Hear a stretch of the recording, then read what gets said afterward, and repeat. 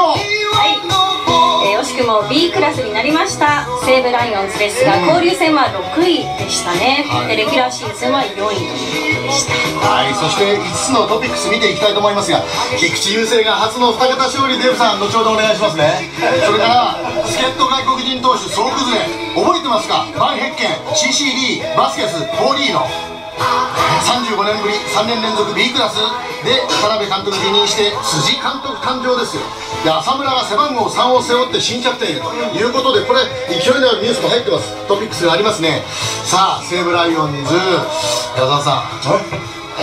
まず一言。え？西武ライオンズ今シーズン。いやね、えー、まあ、これだけ守備が乱れたチームっていうのは、珍しいんじゃないかな、西武がね、こう何十年歴史を刻んできて、えー守備のマイナス点っていうのは、それで負けたゲームがもう多すぎるよね。なるほど。ええ、でこの間も朝も来たんだけども、であのお辻監督にね、今度おなってね、えバントエンドラン、えースクイズいろいろこうやると細かい野球やると。ただね4番メヒアでしょ？5番あおかわりでしょ、うん。それから浅村でしょ、うん。森でしょ、はい。どうやってそういう細かい野球やるのかなというふうにね、まあ来年のことを心配するんだけどね、これそ友城さんどういうふうに見てますか、今シーズンですか、えー今シーズンから来シーズンへ。あのー、点は取れても、うん。取られるというそのミス絡みっていうのは、はい。これ今年に限ったことじゃなかったです、もうこれはもう西武の課題でありましたけれども、やっぱり解消されなかったですよね、なるほどね。まあ、そういうところでやっぱりピッチャーを含めて特に守備っていうのはあの黄金時代を知ってるその辻監督が僕はもうこここの2月からのキャンプはものすごくそのチームプレーという部分をより重点的に意識させてそれがやっぱりチームのお輪になりね、優勝という目標へ向かってくるので、どれだけあのチーム改革といいますかね、選手たちのその頂点を目指す気持ちですよね、変えてくれるかっていうところに期待したいですよね。豊さんどうご覧になってますか？今の話。まあ意識を変えないとね、これなかなかあの一足飛びにはいかないと思うんですけども、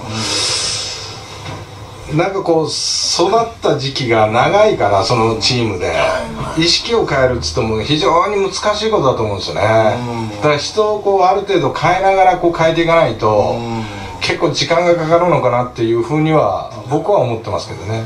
タオさんライオンズも随分ね形変わって。そうあの、はい。辻っていうね、うん。あの本当にあの強かった頃の選手が監督になったわけですよね、であの広岡さん森さんというね特に広岡さん、あの頃のお練習は本当に厳しかった。だ辻選手の頃はオールスターまで一日も休みないですよ。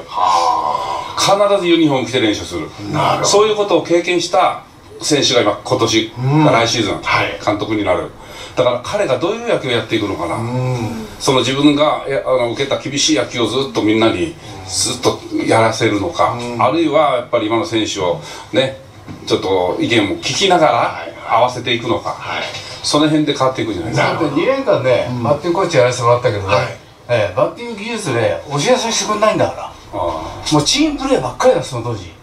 森さん監督でね、はいはいええ。だからバントでも150キロのマシンを設定して、でバントの練習、はいね、バントからのバスター、はい。えそればっかりですよ、もう技術的なことは教えられないなるほど。教えさせてもらえない。そんなことそんなチームだったですよ。なるほど、い、やデブさん、西武の話を今いろいろしてる中で、まあ、岸がいなくなった、でも菊池雄星が今シーズンの活躍があった。随分叩いてらっしゃいました。どうですか菊池雄星。もともと勝てるピッチャーでしたから、まあ、来年も普通に2桁結果がなければ勝ちますから、ただやっぱ岸がいなくなったのはもう半端じゃなく痛いですよそうでしょうね。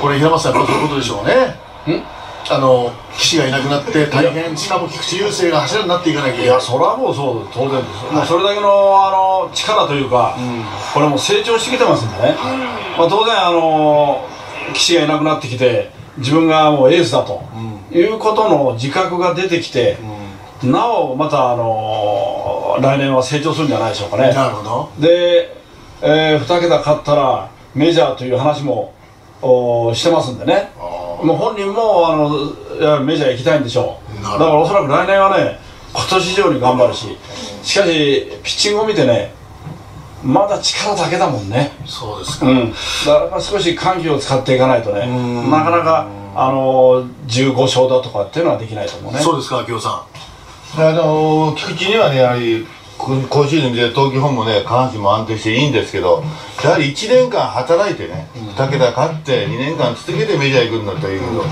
来年もし2桁勝ったメジャーっていうのは私は許されないと思います。1年間コンスタントに働いて2年ぐらい続けてやったら OK です。